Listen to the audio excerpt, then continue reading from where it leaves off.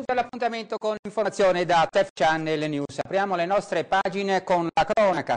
Una fantomatica scuola per operatore sociosanitario OS con sede a Foligno, in provincia di Perugia, è stata scoperta dai carabinieri del nucleo antisofisticazione e sanità, INAS di Perugia. Vediamo subito il servizio d'apertura. I carabinieri dei NAS, nucleo antisofisticazione e sanità di Perugia, a seguito del controllo delle pubblicità su internet su corsi tenuti da diverse aziende, hanno scoperto una fantomatica scuola per operatori sociosanitario OS, con sede didattica a Foligno in provincia di Perugia, promossa e organizzata da tre società del centro Italia. Dalle indagini del NAS è risultato che i 47 studenti partecipanti al corso avrebbero pagato quote di iscrizione per un totale di circa 140.000 euro, in parte già versati a titolo di anticipo e in cassetta dalle aziende responsabili della frode, i cui rappresentanti dovranno rispondere di associazione per delinquere, falso e truffa. La Procura della Repubblica di Perugia, a supporto delle indagini, ha emesso tre decreti di perquisizione a carico dei denunciati eseguiti nelle province di Perugia, Viterbo e Roma. Nel corso dell'operazione è stata posta sotto sequestro documentazione e materiale informatico interessanti dal punto di vista investigativo. Le indagini dell'Arma hanno permesso di appurare che l'attività didattica veniva pubblicizzata sia nel corso di meeting preparatori sia su siti web con falsa autorizzazione della Regione Umbria, per cui il titolo rilasciato al termine dei corsi della durata di oltre 27 settimane, compreso il tirocinio, avrebbe dovuto costituire a tutti gli effetti un titolo giuridico utilizzabile in concorsi e assunzioni presso strutture sanitarie pubbliche e private. Ancora a cronaca, un'esplosione notturna ha distrutto lo sportello bancomat della Banca di Mantignana, filiale di Sant'Andrea delle Fratte alla periferia di Perugia. Come vediamo nelle immagini l'esplosione ha distrutto l'impianto di prelevo banconote ma ha anche lesionato seriamente l'edificio che ospita lo sportello bancario. Dopo l'allarme lanciato dall'impiegato che si è accorto stamattina dell'esplosione recandosi al lavoro, sono intervenuti i militari della Polizia Scientifica, della Volante e della Mobile della Questura di Perugia. Le indagini puntano ad individuare se a mettere a segno il colpo sia stata una banda organizzata responsabile in passato di colpi analoghi in Umbria e anche fuori regione. La Guardia di Finanza del Comando regionale dell'Umbria ha denunciato tre persone che percepivano indebitamente assegni di pensionamento. I particolari nel servizio di Elena Ballarani incassavano mensilmente l'assegno sociale di pensionamento, comprese le tredicesime, senza averne più titolo perché di fatto residenti all'estero. Il tutto per un danno erariale ai danni dello Stato di oltre 60.000 euro. Tre persone sono state scoperte e denunciate dalle fiamme gialle del Comando regionale dell'Umbria a seguito di una serie di controlli nei confronti dei percettori di pensione sociale erogata dall'Inps. Le persone sono state denunciate per i reati di truffa e di indebita percezione di erogazioni ai danni dello dello Stato.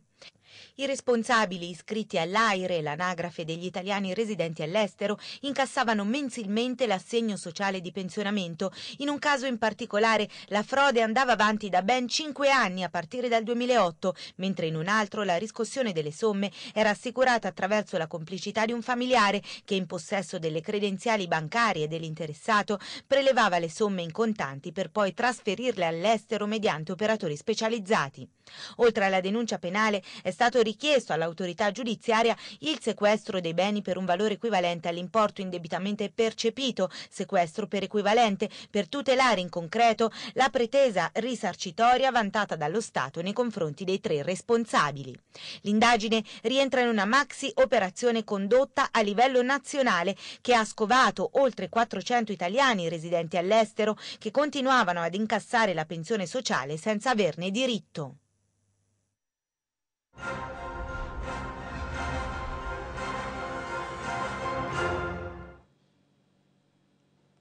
Si profila un saldo negativo per l'occupazione in Umbria anche nel 2012.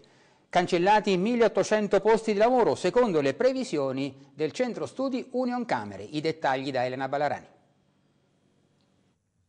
Il 2012 del mercato del lavoro umbro si chiuderà con il segno meno. Questa è la fotografia scattata dal sistema informativo Excelsior di Union Camere e Ministero del Lavoro, l'indagine che raccoglie le previsioni di assunzione delle imprese dell'industria e dei servizi.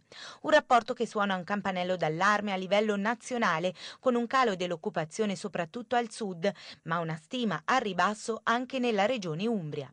Secondo la previsione infatti il saldo fra entrate e uscite nella regione dell'Umbria è negativo, 1860 i posti di lavoro che andranno persi nella regione, un numero frutto delle 7.740 assunzioni a fronte dei 9.630 licenziamenti che le imprese prevedono nel 2012.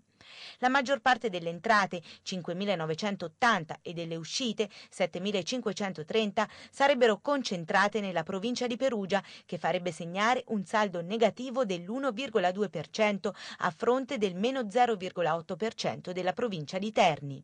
Dati che piazzerebbero le due province nella parte medio-bassa della classifica nazionale, ma comunque superiori, nel caso di Perugia, alla media italiana dell'1,1%, mentre quella delle regioni del centro Italia è del meno 1,2%.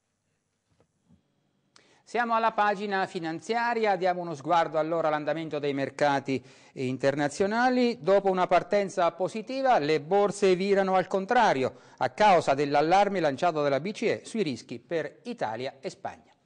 Per quanto riguarda lo spread scende a 444 punti in parallelo con l'euro che quota al momento 1,230 sul dollaro.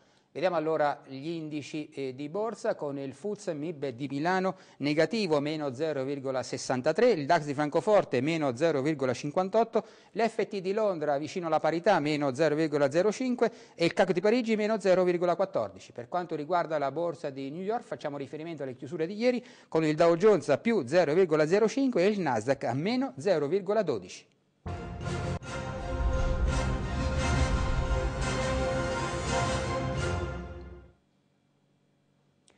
Apriamo la terza pagina con il concerto di ieri sera a San Francesco al Prato nell'ambito del cartellone di Fahrenheit. A Perugia il pianista iraniano Rabin Barami si è esibito insieme ai solisti di Perugia, il servizio di Valentina Baldoni.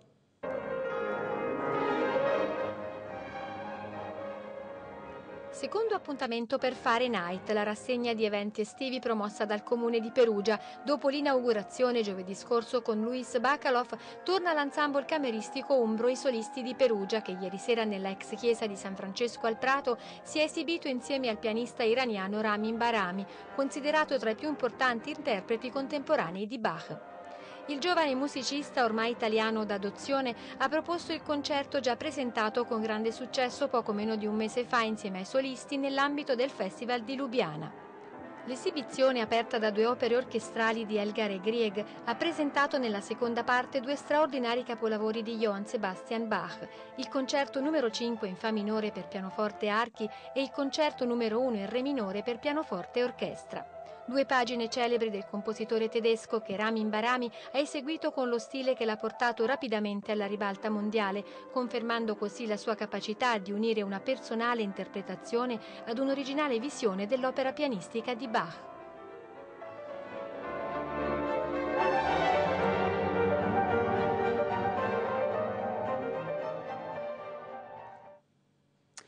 Presentati a Perugia gli eventi che si svolgeranno a Montoni, in Alta Umbria, in occasione della celebrazione della donazione della Santa Spina. Il periodo va dal 12 al 19 agosto. Vediamo. Carlo Fortebraccio, figlio del celebre cavaliere di Ventura Braccio da Montone, fra il 1473 e il 1477 recò in dono ai montonesi, di ritorno da una crociata combattuta al soldo della Repubblica di Venezia, la Santa Spina, appartenuta secondo la tradizione alla corona che trafisse il capo di Gesù Cristo sulla croce, esposta dal 1635 in un reliquiario d'argento. A memoria dell'episodio che rappresenta una pagina importante nella storia di Montone, ogni anno si svolge la donazione della Santa Spina, un insieme di eventi storico-culturali che ricreano nella suggestiva cornice montonese, che si fregia del titolo di uno dei borghi più belli d'Italia, il clima, i costumi e i sapori del Medioevo. Eh, I tre rioni, Porta del Borgo, Porta del Monte, Porta del Versiere, eh, c'è prima un eh, lancio della sfida lunedì, lunedì 13, poi ci sarà il martedì eh, 14 il, la gara tra gli arcieri e poi in tre serate diverse ci saranno le rappresentazioni medievali eh, dei tre rioni eh, tramite le quali si aggiudicheranno dei punteggi, eh, ci sarà una giuria di esperti che eh, guarderà le, le, rappresentazioni dei tre rioni e la somma dei punteggi darà il, il rione vincitore sabato 18. Conclude i festeggiamenti domenica 19 il gran corteo storico della donazione della Santa Spina. Chiediamo scusa per la cattiva qualità di questa registrazione e andiamo avanti, parliamo di scheggia acustica 2012, tango e musica elettronica si aggiungono ai protagonisti della terza edizione di scheggia acustica presentata stamattina a Perugia e di cui ci parla Valentina Baldoni. Buona musica e bei luoghi è il connubio vincente di Scheggia Acustica, il festival musicale organizzato dall'Associazione Culturale Tutti Suoni in collaborazione con i comuni di Scheggia e Pascelupo, Gubbio, Costacciaro e Fossato di Vico. La terza edizione, in programma dal 18 al 31 agosto, propone sei appuntamenti musicali in altrettanti luoghi suggestivi che spaziano dal pop al tango passando per il blues. Serata d'inizio a Gubbio con il gruppo rock Marta sui tubi in piazza San Giovanni. Tra gli altri ospiti Tango Splin all'eremo di Sant'Emiliano di Scheggia, il giovane chitarrista blues Francesco Pio a Fossato di Vico e la cantante Nada accompagnata dalla chitarra di Fausto Mesolella degli Avion Travel che si esibirà nella suggestiva badia Badia di Stiria nel parco del Monte Cucco. Il 26 agosto scheggia acustica a Costacciaro sarà invece dedicata ai bambini con spettacoli teatrali e giochi. Ad ogni edizione del festival introduciamo delle novità, l'anno scorso abbiamo sperimentato i corsi che sono andati molto bene, quest'anno tutto è mirato all'espansione, anche qui la risposta da parte dei comuni è stata super positiva, siamo già a quattro comuni che hanno accettato il nostro invito, per cui Scheggia Acustica è una realtà che si sta diffondendo molto rapidamente, la conclusione sarà a sorpresa il 31 agosto con un secret concert del quale ancora non si sa nulla, ma che sarà pubblicizzato sui social network Facebook e Twitter da dopo Ferragosto. Valentina Baldoni, TEF Channel News, Perugia. E ancora musica, questa volta ci trasferiamo a Todi, dove si sono conclusi gli appuntamenti musicali del cartellone di Suoni dal Legno, dedicati agli esecutori di chitarra classica. Vediamo subito. Ha ottenuto il totale conforto del folto pubblico presente al chiostro dell'ex convento delle Lucrezia di Todi il concerto del chitarrista Daniele Foti, che ha concluso gli appuntamenti musicali dedicati alla chitarra classica programmati dai direttori artistici Emiliano Leonardi e Giulio Castrica nell'ambito della sesta edizione della rassegna Suoni dal Legno. Daniele Foti ha proposto un repertorio di ampio respiro, che dalla celebre corale di Johann Sebastian Bach ha spaziato tra le composizioni spagnole del Novecento fino alla più recente tarantella siciliana detta la Calvaruso di Benedetto di Poni.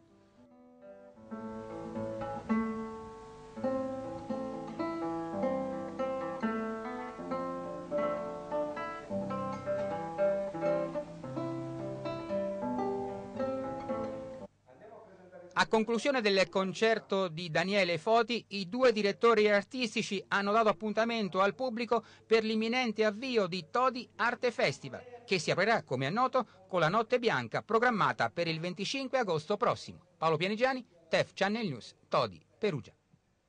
Eh,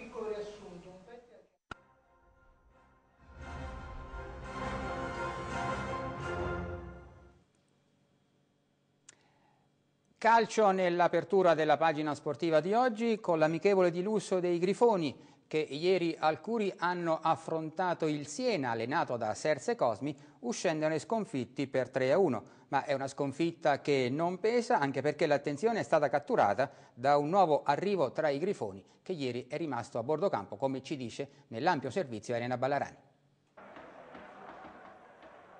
L'amichevole di lusso forse più attesa della stagione, quella di ieri sera, perché allo stadio Renato Curi è tornato in panchina Serse Cosmi, uno dei più amati allenatori del Grifo in Serie A. E ora il tecnico di Ponte San Giovanni ha potuto vedere i nuovi grifoni, quelli che si accingono a disputare il campionato di prima divisione, giocarsela fino in fondo contro la squadra della quale adesso lui è alla guida in Serie A, il Siena. Oggi non era semplicissimo giocare contro una squadra che ha delle ambizioni giustificate, insomma in una categoria che casualmente frequenta, quindi vuole abbandonare prima possibile e noi eh, volevamo concludere il ritiro facendo una bella gara. Allo stadio Curi il Siena di Cosmi non è stato certo accolto tra gli applausi dai tifosi biancorossi, memori di antiche rivalità. 3-1 il risultato finale per i toscani, ma poco importa perché per i supporter del Grifo c'è stato un buon motivo per sorridere e questo motivo si chiama Gabriele Paonessa, comparso a bordo campo prima dell'inizio del test di lusso. Ex grande promessa del Bologna e del calcio italiano, trequartista del Parma nell'ultima stagione al Gubbio in B, dove ha racimolato poche presenze. Paonessa è un trequartista e fa parte del pacchetto dell'affare Ciofani, che comprende i prestiti anche dello stesso centravanti e di Lebran in cambio della prelazione sull'acquisto di Benedetti tra un anno. Come dire, la stagione non poteva aprirsi con un colpo migliore. Sappiamo che per mettere in campo una squadra di questa qualità, con queste qualità tecniche, bisogna sacrificarsi tutti quanti, lasciare un pezzo di, di me in virtù del noi e questo, su questo stiamo lavorando, mi sembra che i ragazzi l'abbiano capito e mi sembra anche di avere parecchie frecce nel mio arco. Siena di Cosmi se ne torna a casa in Toscana con una vittoria conquistata comunque dopo che la squadra ha dovuto ribaltare il risultato, perché i Grifoni sono partiti subito con il ritmo giusto e brillante, grazie al quale sono passati in vantaggio al quattordicesimo, sfruttando un contropiede avviato da Martella e scoccando il tiro decisivo poco dopo essere entrato in aria.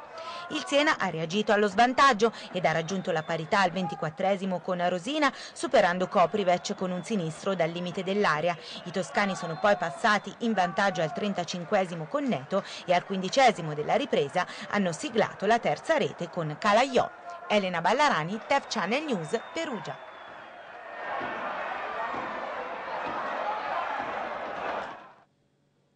Ancora a calcio nella pagina sportiva di oggi che riguarda il calciatore del Gubbio Simone Farina, un personaggio ormai conosciuto a livello internazionale per essersi rifiutato e aver denunciato una combin legata a una partita.